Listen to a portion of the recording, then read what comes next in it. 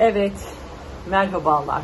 Şimdi Ekrem İmamoğlu, namı değer İstanbul Büyükşehir Belediye Başkanı ekranlara tekrar çıkmaya başladı. Biliyorsunuz e, kendisine oy veren seçmen tarafından da yaptıklarıyla, yapmadıklarıyla eleştiride bulunmadılar ama yapmadıklarını artık milletin gözüne soktuğu için işte var biliyorsunuz.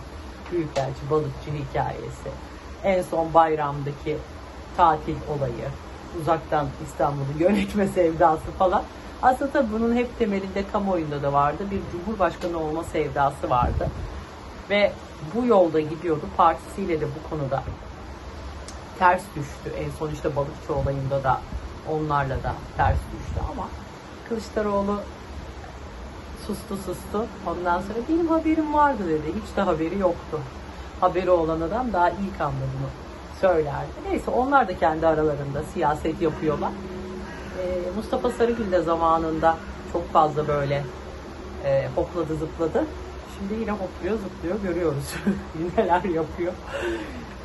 Şimdi Ekrem İmamoğlu artık tabii ki kendisine destek verecek olan gruplardan da destek alamayacağını herhalde anladı. Çünkü Cumhurbaşkanlığı için finans lazım, o lazım, bu lazım, arkan güçlü şeyler lazım. Yani bir arkanda iş adamları, şunlar bunlar olmak lazım. Ama tabii Ekrem İmamoğlu İstanbul'u bir kenara itip İstanbul Büyükşehir Belediyesi Başkanı sıfatıyla Cumhurbaşkanlığı için bayağı bir efor, adaylığı için efor sarf etti ama anladı ki artık bu olmayacak. Artık tamam ben olamayacağım. Ekranlara çıkıp konuşmaya başladı. Zannedersin ki 3 yıldır, 4 yıldır gecesini gündüzüne katıyor adam. Canı çıkmış İstanbul için çalışıyor. Öyle bir konuşuyor ki artık yani kendisini destekleyen televizyon kanalları bile onu ciddiye almıyor. Ama tabii şimdi aynı Mustafa Sarıgül'ün yolundan gidiyor. O da Mustafa Sarıgül işte Büyükşehir Belediye Başkanlığı olayına kendini aday yaptırdı. O zaman ben demiştim sakın yapmasın. Şişli'de kalsın. Sonra genel başkanlığa aday için bir soyundu. Olmadı. Bu CHP'deki o kulisi, o yapıyı, arkadaki lobiyi kıramazlar. Şey, şimdi Ekrem İmamoğlu da İstanbul Büyükşehir Belediye Başkanlığı'nı eline yüzüne bulaştırdı ya, yapmadı. Zaten yapmıyor. Durum ortada. Otobüsler yanıyor, metrobüsler yanıyor. O öyle kar yağdı İstanbullu yollarda felç, kendisi balıkçılarda, İstanbul'da sel oluyor. Kendisi bayramda tatilde bir de bayramın birinci günü saat 5'te gidiyor. Sonra diyor ki ben bunu uzaktan yönetiyorum. Kar yağar yok, o yok, bu yok. Şimdi kalkıp bir algı çalışmasına başladı. Sanki gecesini gündüzüne katmış, çalışmış. Bırak sen üstüne bir şey katmayı. Yani şimdi Allah için AK Parti'nin teslim ettiği sistemi bile doğru yönetemiyorlar. Orada geriye gidiş var. Ha, oy verenler düşünsün. Yani bu yerel seçim. Hani genel seçim ayrı ama yerel seçimde sen hizmet alıyorsun. İşte İstanbul'un durumu ortada. Yani enteresan. Şimdi öyle bir konuşma yapıyor ki benimle uğraş, seninle niye uğraşsınlar? Halk seni millet gördü. Zevki sefasından vazgeçemeyen bir belediye başkanı. Hasbel kader işte 17-18 yıllık bir iktir, e, belediye başkanlığı iktidarından sonra işte metal yorgunluğu yıpratılmış falan filan insanlar işte gençsin falan sana oy verdi ağzında laf yapıyor. Seçildin hasbel kader bari işi tutsaydın bir ucundan. Ama işi gücü bırakıp ilk günden beri İstanbul'u bırakıp kendi kaderine e, kendi sevdalarının peşine koştu. Şimdi de televizyonlarda böyle seyret insanların aklıyla dalga mı geçiyor? Zannedersin ki bu adam hiç yemiyor, içmiyor, uyumuyor. Habire çalışıyor. Çalışıyorsanız İstanbul'da niye bunun farkında değil? Niye biz farkında değiliz? Niye biz farkında değiliz? Her şey teslim aldığınızdan daha geriye gidiyor. Bir adım ileriye ne yapmışsınız?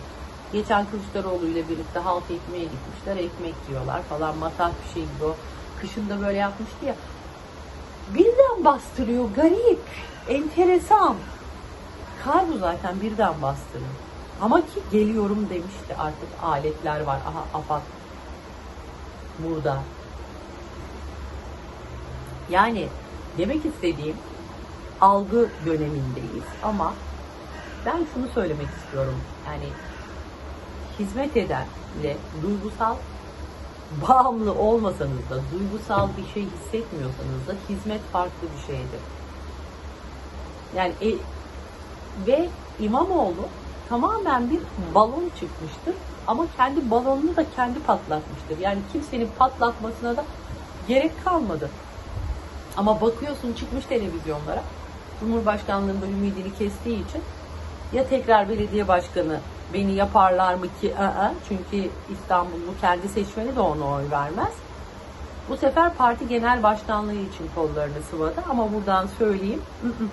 Bak Mustafa Sarıgül abine bak. Sizin de sonunuz aynı onun gibi olacak Sayın İmamoğlu. O da böyle. Aynı. Step by step peşinden gidiyor.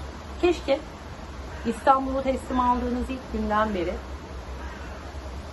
hizmet etseydiniz, işinizin başında dursaydınız, insanlara size verdikleri oyun hakkını verseydiniz, en azından bir şeyler için gayret etseydiniz.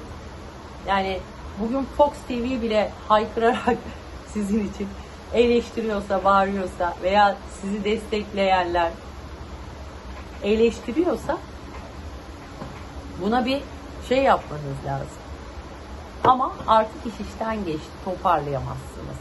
Size yani beş tane tavuk teslim edilmez. Ya da bir tane inek teslim edilmez. Ya sütten kesilir, öbürleri yumurtadan kesilir falan filan yani. Mecazi söylüyorum. Keşke çalışarak bunları yapsaydınız. Çalışarak, yani kendinizi göstererek, kendi kendinizi yıprattınız. Yani sorumlu olduğunuz işi yapmayıp başka şeylerin peşinde koştunuz. İstanbul'da değilsiniz.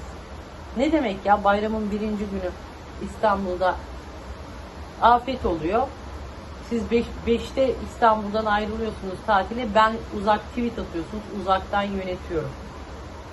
E o zaman niye hiç seçilmesin uzaktan her ilçenin başkanı uzaktan yönetsin. Bir aile bile uzaktan yönetilemez.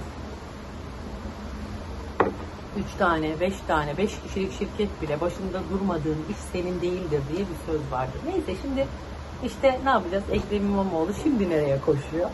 Ekrem İmamoğlu şimdi İstanbul Büyükşehir Belediye Başkanı adayı bir daha yapılmaz olmaz da çünkü partiden ve seçmenden tepki alır.